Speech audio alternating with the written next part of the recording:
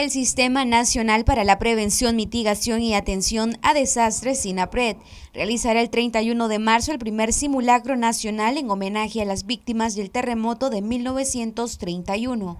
Así lo detalló la vicepresidenta de Nicaragua, Rosario Murillo. ya desde el SINAPRED el primer ejercicio nacional de protección de la vida, un plan completo que nos ha hecho llegar el doctor Guillermo González el día de hoy, para el 31 de diciembre, de marzo a las 10 de la mañana. Vamos a estar también conmemorando aquel asiago 31 de marzo del año 31 cuando muchas familias fueron afectadas, perdieron todo y se perdieron muchas vidas.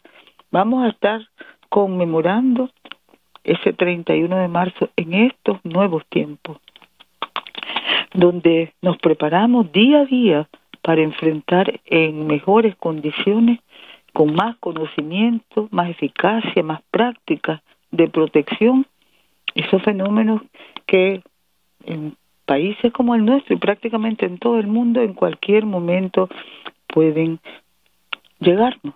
Situaciones de multiamenaza es lo que abordamos, para lo que nos preparamos, y en este caso, conmemorando el terremoto también, frente a las amenazas volcánicas y sísmicas que nos han afectado tanto y a las familias en particular porque son recuerdos y experiencias imborrables de pérdida, de luto, de dolor, de aflicción, de temor.